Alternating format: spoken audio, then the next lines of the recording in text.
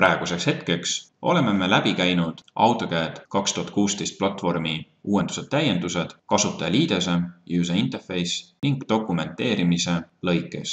Need rakenduvad suuresti ka AutoCAD LT-le. järgnevalt keskendume aga disain sektsioonile, kus on ka terve rida põnevaid täiendusi, uuendusi, kui me tegeleme juba mudelitega. 3D mudelite juures me üsna tihti kombineerime lasermõõdistuse andmestikku punktipilvede näol siis näiteks uue olukorraga. see uus olukord võib olla mingi täiendus olemasolevale olukorrale, see uus disain ja see uus disain võib olla loodud mõistagi siis kõige lihtsamate AutoCAD 3D töövahenditega. ka siin joonisel on näha punktipilve, andmestik, point cloud ning lisaks ka lihtsad AutoCAD-i 3D solid objektid. ma valin kasutajaliidese ümber alt riba pealt, võtan 3D modeling ja see töövahend, mis kahe tuhande kuueteistkümnendas versioonis on täiendust leidnud, on lõiketasapind. Section plane töövahend on siit riba pealt leitav, nagu ka varasemates versioonides, aga selle funktsionaalsust on täiendatud. ma hetkel ei hakka siin pealtvaatesse võib-olla minema, ma lihtsalt teen läbilõike sellest mudelist ehk siis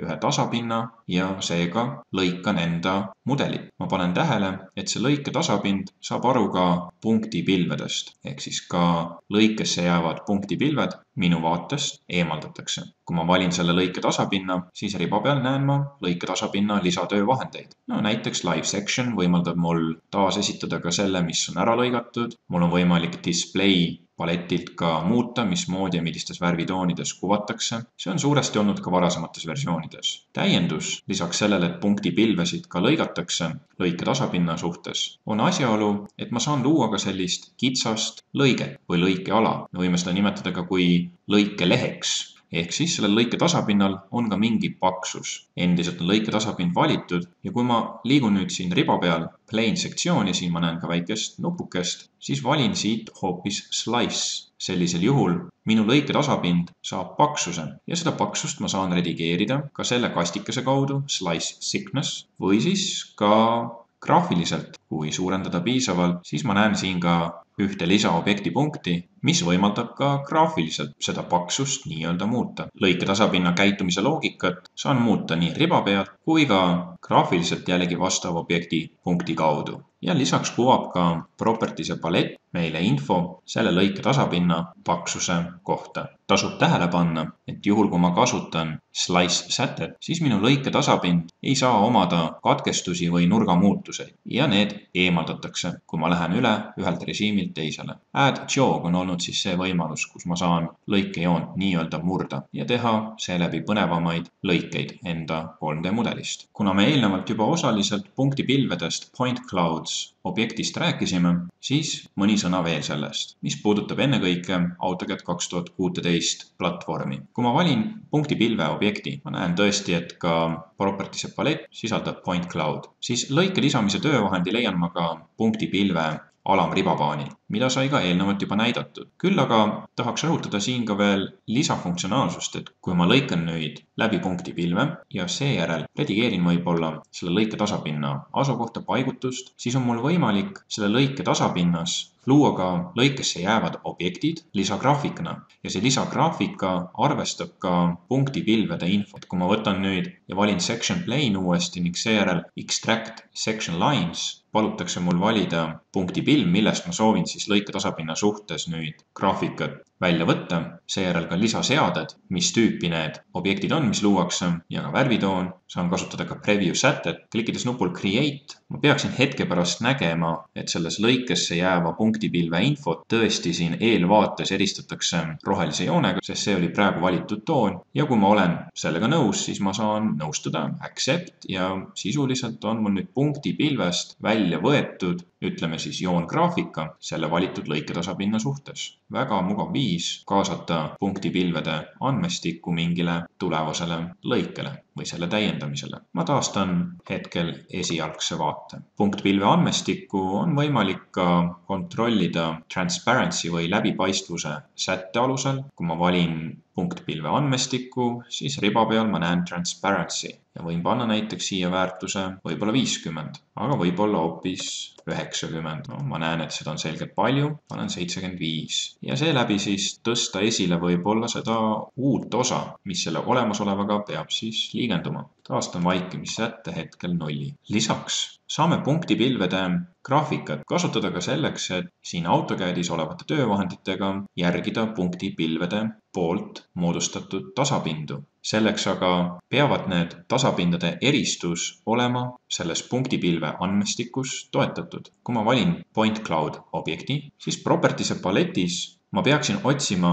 parameetrit nimetusega segmentation ja juhul, kui see on yes'i peal, siis see tähendab, et ma saan järgida punktpilve andmestiku tasapindasid. tegemist on siis sisuliselt omadusega, kus teatud punktid, mis asuvad ühel ja samal tasapinnal, on grupeeritud ja seejärel saan ka AutoCADis seda omadust ära kasutada. seda toetab ka AutoCADi installeerimisel valitud recap tarkvara, mis on mõeldud punktpilve andmestiku eeltöötluseks ja just nimelt ka punktide grupeerimiseks. kui need eeldused on täidetud, siis mõistlik oleks välja lülitada ka OSNAP seaded punktipilvede osas. nimelt, kui ma liigun sinna alla riba peale ja võtan Object Snap Settings, seejärel 3D Object Snap, siis kontrollin, et Point Cloud sektsioonis ei oleks valitud ühtegi objektipunkti. ja kui nüüd omakorda aktiveerida Dynamic UCS, mis siis võimaldab mul töö käigus koordinaatteljestikku tasapindasid dünaamiliselt muuta, ilma et ma peaksin seda ise ümber tõstma, ümber konfigureerima, kui see on sisse lülitatud ja valin nüüd mõne AutoCADi elementaarse töövahendi, võib-olla on selleks lihtne joon, siis ma panen tähele, et tuntakse ära punktipilve andmestikus erinevaid tasapindasid ja saan jällegi seeläbi mugavamalt kasutada seda uue graafika loomiseks. me küll korra juba nägime, et ka punktipilvede juures on kasutusel erinevad objektipunktid ja seda nimekirja on samuti tegelikult täiendatud. kui veel kord tagasi tulla punktipilvede objektipunktide juurde, siis ma leian nad ikka Object Snap Settings valiku alt, Drafting Settings ja 3D Object Snap ning siin sektsioonis Point Cloud on tegelikult lisandunud nii mõnigi uus objektipunkt, mis kehtib punktipilvedele. ja teeme ka ühe lihtsa demonstratsiooni. näiteks oletame, et ma soovin järgida olemasoleva hoone sellist kaarjat esiserva, fassaadi. sarnaselt oli tegelikult ka eelnevates vaadetes, näidetes see ka loodud. ma olen selle lihtsalt hetkel ära peitnud ja kui ma sooviksin sellist kaarjat fassaadi saada, siis mõistagi alustuseks oleks mul vaja teada saada selle kaarja osa või siis silinderpinna keskpunkti. seda saan ma määrata punktipilvede objektipunkti kaudu ehk siis ma loon siia ühe telje, see võib olla mis tahes objekt, peaasi, et ma tean, et vot see punkt tähistab nüüd punktipilve fassaadi keskpunkti, pöörlemistelge. seega mina näiteks kasutan hetkel 3D polüjoont ja nüüd punktipilve filtrina, nii nagu ka ülejäänud objektipunktide filtrite juures, saab kasutada Shifti parem klõps ning seejärel 3D O-snap ja võtan siit nearest to centerline of cylinder on point cloud. klikk sellel ja kui ma nüüd liigun punktipilve nii-öelda silinderpinna peale, siis ma näen, et eelvaatena kuvatakse selle fassaadi katkematu pind. olles selle eelvaatena fikseerinud, teen ma lihtsalt punkti määramisega vasaku kliki ning seejärel võin anda sellele nii-öelda pöörlemisteljele ka mingi kõrguse. võib-olla panen siin lihtsalt sada ühikut ja seejärel lõpetan. Nii et mul on siin üks väikene joonekene. nüüd järgnevalt ma sooviksin siis AutoCADi töövahenditega luua siia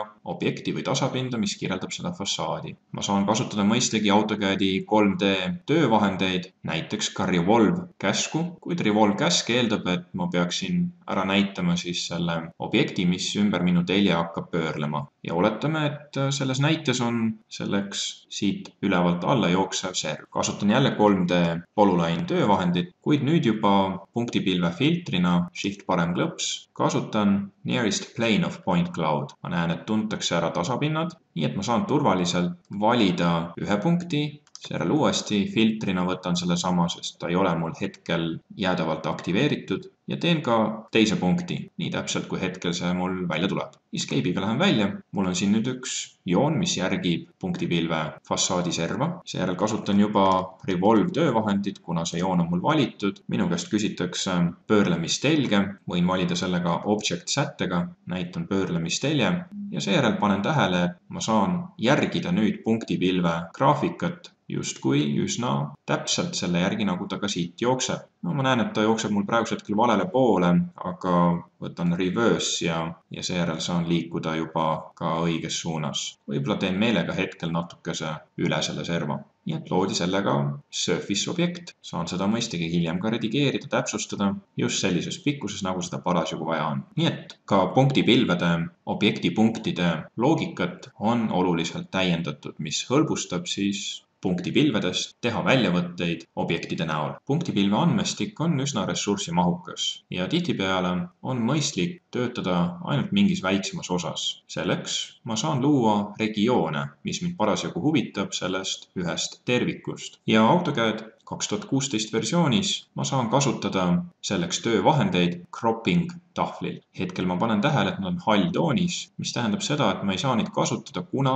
ma olen perspektiivses vaaterežiimis. kui ma aga lähen ristprojektsiooni peale, siis ka need töövahendid võimaldavad mul juba jätkata uue regiooni tekitamisega. näiteks ma lähen võib-olla pealtvaatesse ja seejärel loon uue regiooni lähtuvalt siis sellest tüübist, rectangular, polüjoon või siis ringjoon. võtan hetkel rectangular ja näiteks teen siit sellise lõike. seejärel mulle kuvatakse lisavalik, kas ma soovin siis jätta alles nüüd selle ala sisse jäävad punktid või vastupidi, väljapoole jäävad punktid, hetkel jääb siis inside. saan seejärel anda sellele ka nimetuse, ma võin teha näiteks mitu erinevat regiooni. nimetuse andmiseks liigun siin cropping tahvli peale ja valin new crop state nupu ja panen sellele mingi nimetuse, enter. kui ma lähen nüüd uuesti 3D vaatesse, siis ma näen väiksemat ala, millega on kindlasti mugavam töötada. kui ma tahan aga taastada tervet punktipilve või liikuda mõnele teisele alale, siis saan seda teha sarnaselt eelnevaga ja kui neid alasid on mitu, siis saan ka siit hüpikust valida neid. aga kui tahan naasta nüüd kogu punkt andmestiku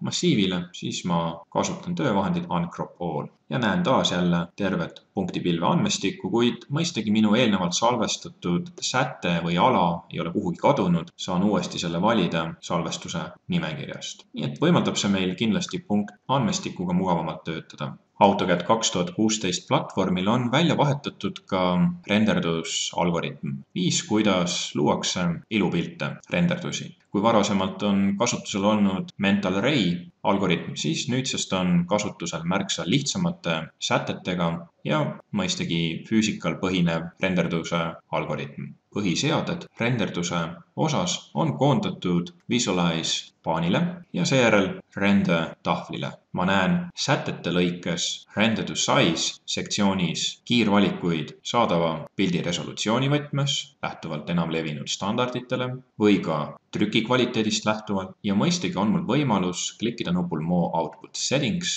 ja panna endale meelepärane kõrguse-laiuse suhe. siin saan ka valida automaatse faili salvestuse, valides automatically save ja seejärel klikkides nupul browse saan valida ka pildi faili tüübi cancel hetkel. Lähen ka sellest dialoogist välja. renderduse kvaliteedi tähenduses on mul märksa lihtsamad valikud juba eeldefineeritud, seda siis render presets nimekirjas. ühelt poolt jah, ma näen siin low, medium ja high sätteid, juhul kui need low, medium ja high renderdavad pildi teatud iteratsioonide arvu lõikes, ehk siis iga järgnev iteratsioon parandab olemasoleva pildi kvaliteeti, mida suurem, seda parem ka kvaliteet, siis need alumised valikud on ajal baseeruvad renderduse kvaliteedi sätted. näiteks coffee break tähendab seda, et renderdatakse pilti kümme minutit ja see on parim tulemus, mis selle ajaga on võimalik saada. samas lunch quality on kuuskümmend minutit renderdatakse pilti ja overnight quality kaksteist tundi. klikkides nupul Manage render presets näen ma täpsemalt ka, mida tähendab see valik. näiteks kui ma võtan siit high, siis ma näen, et kasutatakse kümme renderduse iteratsiooni ja ka säte render duration on kui render by level. samas, kui ma võtan siit näiteks coffee break quality, siis renderdust viiakse läbi aja tähenduses ja ma saan määrata, hetkel on see siin määratud kümme minutit, aga võiksin luua ka enda isikliku renderdussätte, anda sellele ka nimetus, võib-olla viisteist minutit, võib-olla viis minutit, luua sellega mõne sobivama valiku kliendiga kohtumisel. ja mõistagi saan ma renderdada kas siis kogu akent, mida ma näen siin mudelruumis või viewport, mõnda üksikut vaateakent või regiooni, mingit ala ainult, et teha näiteks testrenderdus. Ning selle all on võimalik ka valida siis taas laiuse pikkuse suhet pikslites, mida sai ka varasemalt juba näidatud. hetkel sulgen selle paleti. lisaks ma näen, et siin render tahvli juures on allapoole suunatud kolmnurk ning ma leian siit ka lisavaliku render environment and exposure. klikkides selle peal, siis on mul võimalik märkida ära, kas ma soovin ka renderduse juures kasutada keskkonda. keskkond tähendab siis seda, et kasutatakse kolmesada kuutekümmet kraadi pildimaterjali taustana ja need on siis eelnevalt tarkvarasse sisse integreeritud, kuid mul on võimalik ka kasutada enda pilti taustana, kuid sellisel juhul ei ole ta 3D taust. Use custom background ja saaksin valida siis pildi. mis puudutab veel seda keskkonda, siis see image based lighting, nii nagu ka ingliskeelne nimetus püüab vihjata, kasutab ka pildil baseeruvat valgustamist. kuid alati on meil võimalik ka valgustus paika panna omaenda valgusti objektidega. nii nagu ikka on saanud seda teha ka varasemalt AutoCAD-i tarkvaras. sulgen ka selle paleti. seega, kui ma soovin nüüd renderdada, olles eelnevalt paika pannud põhiseaded, siis ma klikin lihtsalt nupul render või käsurea pealt ka render ja seda pilti hakatakse renderdama. ma näen, et ma saan üsna hea pildi juba üsna varakult, sellepärast et mul on valitud siin coffee break quality. mul on alati võimalik renderdus ka varem lõpetada, kui olen tulemusega rahul, constant rendering. tehtud renderdused salvestuvad nimekirjana, siin on ka võimalik siis neid vaadata, klikkides vastaval nupul ja ma võin ka näiteks siis mudelit veidi pöörata mingi teise nurga alla ja teostada uuesti renderdus. ma panen ka tähele, et minu taustsüsteem sellega muutub, sellepärast et veel kord, hetkel ma kasutan 3D keskkonda. saan kasutada suurendamise, vähendamise töövahendit või hiirerulli. jällegi, kui olen tulemusega rahul enne selle tegelikku lõppemist, võin öelda constant rendering. Neid olemasolevaid renderdusi saan ma ka salvestada, nii et kui ma ei valinud automaatset salvestust, siis saan ka salvestuse teha siit dialoogist, saves ja saan valida jällegi faili tüübi või võin teha siin all nimekirjas ka parema klõpsu ja valida ka siit save, save copy. nii et need on põhiuuendused, täiendused, mis puudutab AutoCAD tarkvaras renderdust. tasub katsetamist ja erinevate parameetritega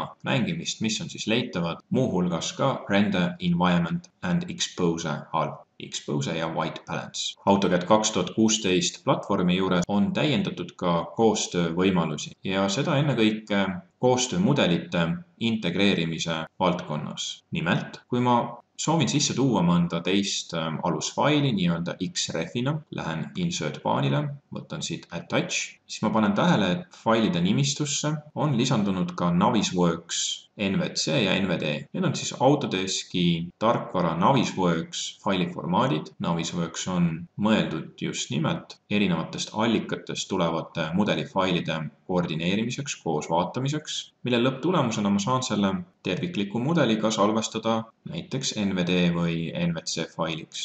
seejärel on mul võimalik nüüd ka lihtsas AutoCADis seda NVD faili sisse tuua Xrefina valin siit näiteks välja ühe näite ja klikin seejärel Open. Mulle kuvatakse tuttav dialoog, kus ma saan määrata, millisesse punkti ma soovin seda sihestada, üldjuhul me räägime ikkagi koordineeritud mudelist, mistõttu ma võtan ära linnukesed specify on screen sektsioonidest. ma jätan sisse linnukese zoom to coordination model ja mul on võimalik ka lisaks märkida ära, et kui see minu olemasolev AutoCAD-i joonis sisaldub juba Navisworks mudelis, siis kas seda kuvada või mitte. hetkel ma siia linnukest ei pane. klikin OK ja sellega seonduvalt ma näengi nüüd Navisworks tarkvarast välja salvestatud faili AutoCAD-i tarkvaras nii et hetkel mul Navisworksi kui sellist siin installeeritud ei ole, nii et sellest see mitte mingil juhul ei sõltu. kui ma selle lingi peal klikin, siis riba peal jällegi on lisaseaded, muuhulgas saan siis redigeerida läbipaistvust, opacity või siis värvide tonaalsust, color fading, kuid hetkel ma kuvan ka olemasoleva AutoCAD-i joonise sisu, sest see on veel peidetud. Lähen siin home baanile, võtan layer properties ja toon esile uuesti ka ülejäänud kihid ja see osa on siis nii-öelda minu osa. Ehk siis ma soovin näha seda enda poolt tehtud kontekstis. Ja see kontekst on tagatud just nimelt Navisworks mudeli faili sissetoomisega. ja kui kontekst on olemas, siis ma saan enda disaini ka lähtuvalt optimaalsemalt redigeerida, selleks et kontrollida, kas mul on võimalik näiteks antud juhul ühe toruga läbi minna sealt seinast või mitte või siis näiteks on seal juba mingi muu objekt ees. selle töö lihtsustamiseks on mul siin üks lisavaatepunkt ja ma näen siin siis enda disaini, antud juhul lihtsad AutoCAD-i objektid ja võiksin kasutada Solid plaani pealt näiteks sweep töövahendit selleks, et seda olemasolevat ringjoont suruda ruumi ja seeläbi esitada seda kui toru. ja kui ma seda mudelit pööran, siis ma saan näiteks muuhulgas ka kontrollida, et see konkreetne toru nüüd ei lõikaks talasse või mõnda olulisse konstruktsiooni osasse. aga miks mitte ka kontrollida seeläbi, et ta ei lõikuks teiste osapoolte poolt loodud eriosade mudelitega tasub rõhutada, et see koostöömudelite integreerimine, antud juhul siis Navisworks failide näol, on toetatud AutoCAD-i kuuekümne nelja bitistes versioonides. Ja lisaks peab olema ka graafiline kiirendus aktiveeritud, seda ma näen siis ka siin all riba peal, Hardware Acceleration, parem klikk sellel nupul, võtan Graphics Performance ja Hardware Acceleration peab olema siis sisse lülitatud, et see funktsionaalsus töötaks kaks tuhat kuusteist platvormil on täiendatud ka integreeritavust Autodeski BIM kolmsada kuuskümmend töövahenditega. BIM kolmsada kuuskümmend jaguneb erinevateks toodeteks, üks nendest on BIM kolmsada kuuskümmend Crew, mis on põhimõtteliselt veebipõhine integreeritud mudelite vaatamise platvorm. Ja neid äh, mudeleid on võimalik siis laadida ka AutoCAD-i tarkvarasse, kui see konto ja see tarkvara on olemas, läbi BIM kolmsada kuuskümmend ja valides siit Attach